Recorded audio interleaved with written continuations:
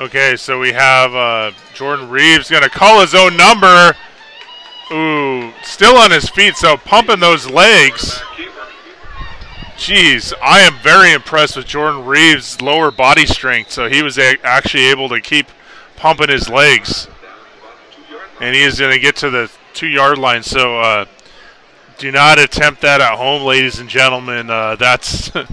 that's very, very hard work what Jordan Reeves just did. Like I said, a lot of times, you know, you get, you know, upended or you got stood up, and then that's the end of it. But uh, his forward progress, he kept going. So uh, great job there. Uh, definitely a quarterback you want to have uh, if you're uh, the Lamar Texans.